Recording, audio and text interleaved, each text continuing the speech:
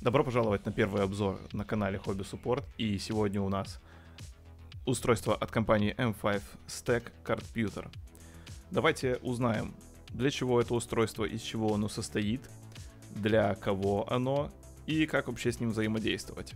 Computer — это микрокомпьютер от компании M5 Stack. Такое устройство подходит как и продвинутым инженерам, так и любителям. Устали от Arduino ESP классического форм-фактора — это что-то новенькое — Устройство создано для решения широкого спектра задач. Прототипирование, программирование, отладка устройств, управление умным домом, развлечения, ну и куда же без обучения. Дизайн в стиле ПК 80-х и 90-х у меня вызывает ностальгические чувства. Палитра клавиатурных обозначений хорошо сочетается с цветом базы.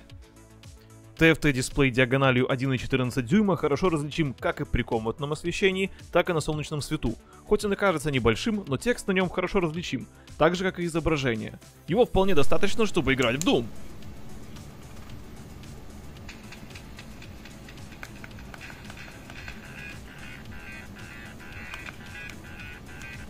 На самом деле это порт с Game Boy Advanced, но вполне играбельно. Давайте проверим самый главный код – и, Д, Д, Q, Д. Работает. Сердцем устройства является контроллер Stamp S3. У M5 Stack свой дизайн и форм-фактор плат разработки. По сути, это ESP32 S3FN8, двухъядерный 32-битный зверь, 240 МГц на каждое ядро и 8 МБ флеш-памяти. Также в нашем распоряжении динамик на 1 Вт, инфракрасный передатчик, микрофон, клавиатура, слот для камеры microSD. Все это можно использовать сразу из коробки.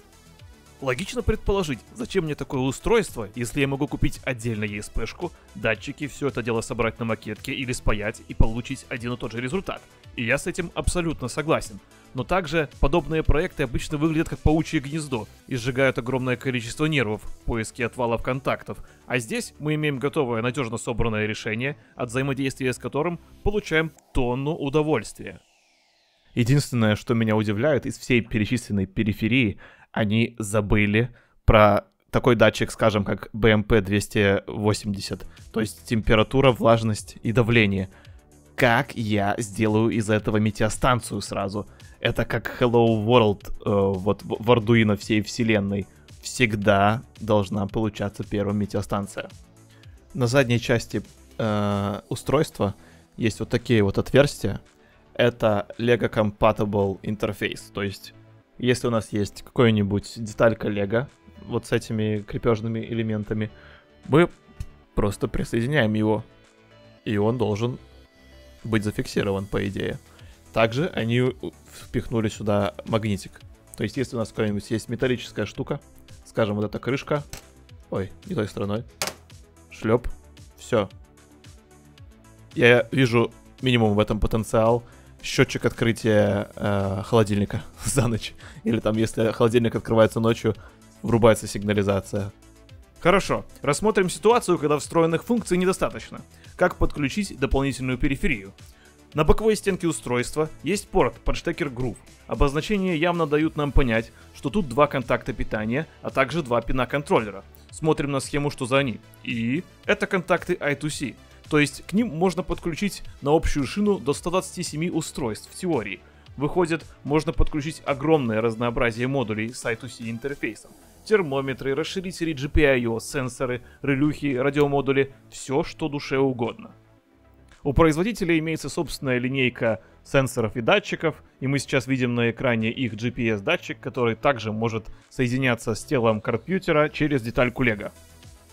В заводской прошивке у нас имеется набор приложений, скажем, ESP Now достоин отдельного разбора, потому что этот протокол позволяет, не используя отдельную точку Wi-Fi и не устанавливая соединение, общаться с другим компьютером или устройством, поддерживающим ESP на довольно приличном расстоянии.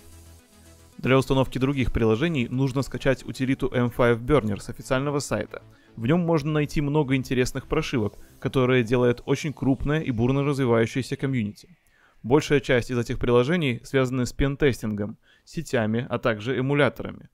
Рекомендую первым приложением установить M5 Launcher. с помощью которого вы сможете устанавливать приложения по Wi-Fi, взаимодействовать с файловой системой, запускать приложения с карты памяти. Есть даже веб-сервер с веб-интерфейсом, где все делать еще удобнее. Картпьютер также можно программировать на микропитон, используя веб-среду разработки UIFlow 2. Здесь мы можем создать наше приложение из готовых блоков и графического интерфейса, либо же писать самостоятельно. Имеется удобный интерфейс для компоновки экрана с гайдлайнами. Код на устройство можно заливать как по кабелю, так и по Wi-Fi, предварительно установив приложение UIFlow 2 на картпьютер. Также можно писать код в Arduino IDE или VS Code расширений платформ.io. Лично мне очень нравится это устройство, сам его дизайн и простота сразу вызывают интерес.